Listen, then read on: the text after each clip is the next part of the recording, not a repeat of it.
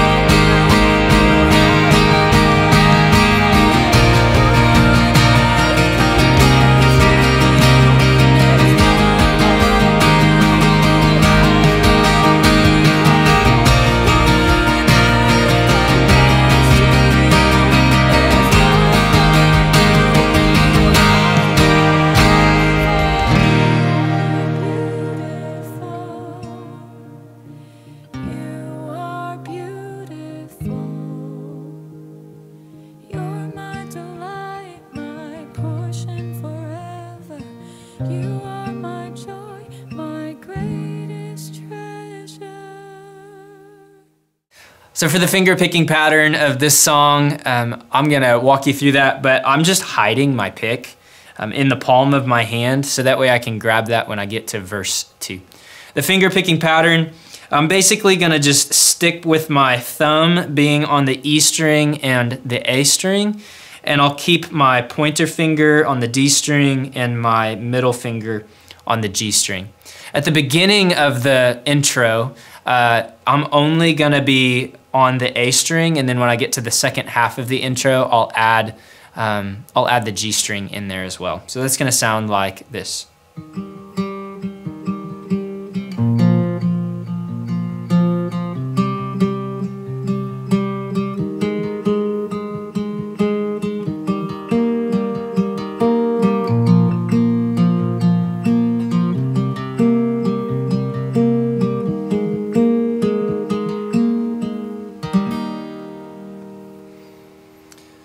The next finger picking pattern um, technically is a finger picking pattern, but I'm gonna use a pick for it um, to just add some more attack.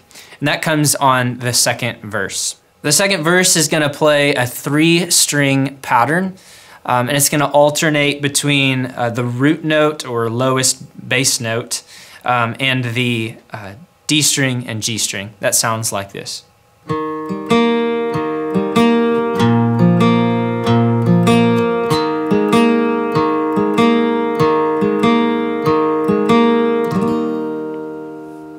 I'll just repeat that a second time through that verse.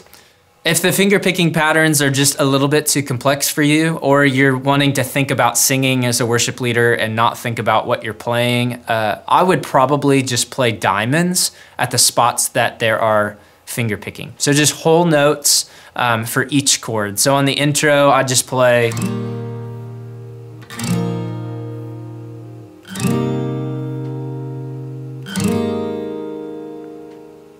And just let those ring, kind of let the piano carry the majority of those sections. The other thing I want to talk through is the beginning of chorus one has a, a part where the guitar mirrors the melody of the song. Um, we're playing diamonds in the chorus, and it just fills in at that first chord. So it sounds like this.